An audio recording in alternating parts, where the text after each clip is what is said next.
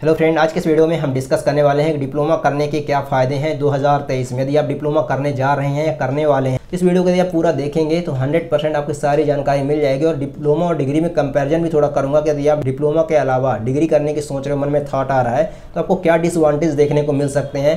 बाकी एडवांटेज तो हैं डिग्री करने के, अपने अलग ही एडवांटेज हैं उसके, लेकिन दोस्त क्या डिसवांटेज आपको देखने को मिल सकते हैं, ये भी आपको जानना बहुत ज़रूरी है ताकि आप डिसीज़न ले पाओ घर बैठे ही कि आपको क्या करना चाहिए।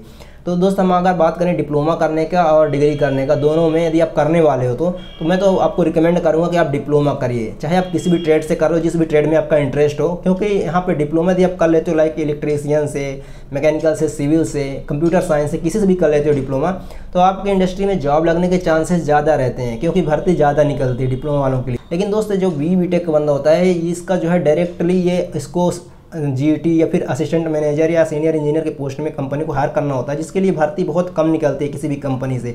तो भर्ती कम निकलेगी तो ज़ाहिर सी बात है आपकी जॉब स्कोप बहुत कम है और जॉब स्कोप कम रहेगा तो आप बेरोजगार रह जाओगे पढ़ाई करने के बाद।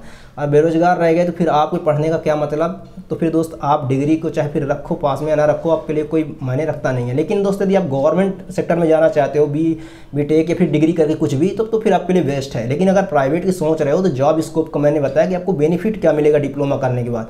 तो बेनिफिट जॉब स्कोप का ही है। यदि आप प्राइवेट चूज़ कर रहे हो प्राइवेट में जाओगे तो आपको सबसे ज़्यादा डिप्लोमा को ही वह कंपनियाँ प्रीफर करती हैं। आई और डिप्लोमा के बंदों को सबसे ज़्यादा हायर करती हैं। तो चाहे आप मैकेनिकल से कर रहे हो, चाहे सिविल से, चाहे इलेक्ट्रिकल से, चाहे किसी भी ब्रांच से डिप्लोमा कर रहे हो तो आपको बेनिफिट मिलेगा जॉब में।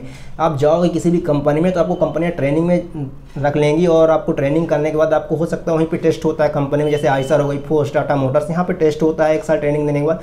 आप टेस्ट निकालते हो वहाँ पे तो आपका अनरोल होने के चांसेस रहते हैं। लेकिन बी बीटेक बंदों को तो कंपनी गेट से ही हायर नहीं करती है। वो शुरू में एंट्री ही नहीं देगी तो आप जाओगे कैसे? आपको जॉब मिलने के चांस तो वैसे भी कम है। ऑनलाइन भर्ती निकलती हैं तो ऑनलाइन आपको कंटिन्यू पता करना पड़ेगा। अपडेट रहना होगा और आपके पास कोई स्किल भी होनी चाहिए। और यदि आप गेट में जाते हो डायरेक्ट तो आई डिप्लोमा बंदों को तो गेट से हार कर लेता है, और बल्क में हार करता है, हर दिन, जो तरह सोमवार, मंगलवार डेट फिक्स रहता है तो हफ़्ते में एक दिन एंट्री होती है, किसी भी कंपनी में लाइक ले लीजिए आप, पीथमपुर लोकेशन में आइसर हो गया, टाटा मोटर्स हो गया फोर्स मोटर हो गया, पुणे लोकेशन में भी ऐसे टाटा मोटर्स हो गई, वहाँ पे भी महिंद्रा सी आई हो गई तो इन ऐसी कंपनियाँ बहुत सारी कंपनियाँ हैं ऑटोमोबाइल की, जो कि जो कि दोस्त आई और डिप्लोमा बंदों को हर हफ़्ते हायर करती हैं, जहाँ पर वहाँ पर उनको ऑन रोल ट्रेनिंग में रख लेती है कंपनी बेस में, या फिर दोस्त आई सेक्टर यानी कि गवर्नमेंट की स्कीम है जिसके थ्रू वहाँ पर ट्रेनिंग में रख लिया जाता है। लेकिन जो बी बी के बंदे होते हैं, उनको तो ट्रेनिंग में भी नहीं रखती हैं कंपनियाँ।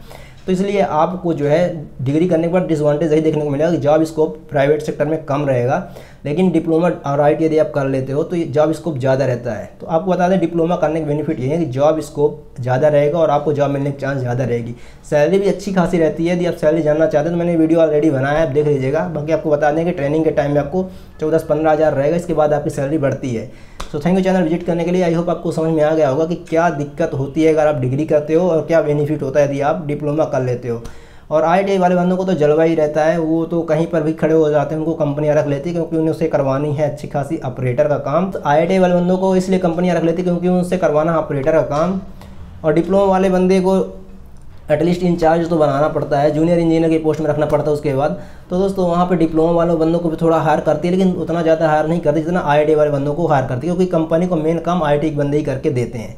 इसलिए आई की भर्ती सबसे ज़्यादा रहती है। थैंक यू चैनल विज़िट करने के लिए आई होप आपको वीडियो से हेल्प मिला होगा। थैंक यू चैनल विज़िट करने के लिए आपका बहुत बहुत धन्यवाद।